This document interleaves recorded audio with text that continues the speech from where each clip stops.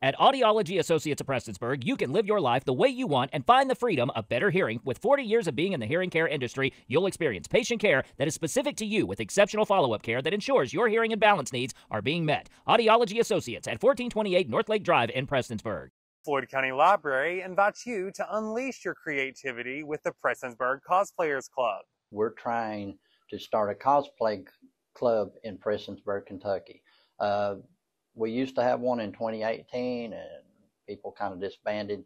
Uh, so we're trying to get this going. Uh, it'll be family oriented, uh, ages 18 to 99, uh, under 18, parent or guardian must accompany you.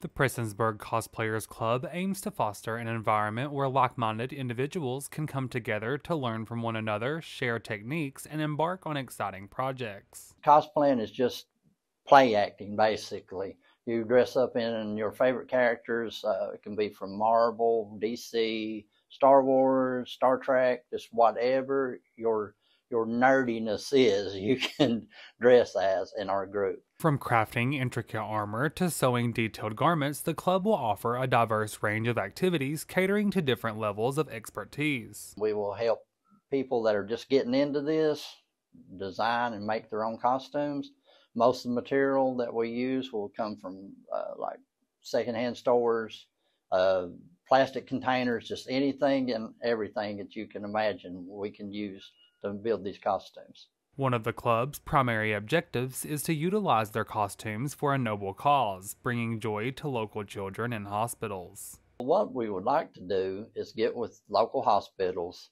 and set a certain date, a, a time, probably on the weekends mostly because that's when people can actually get together to do things.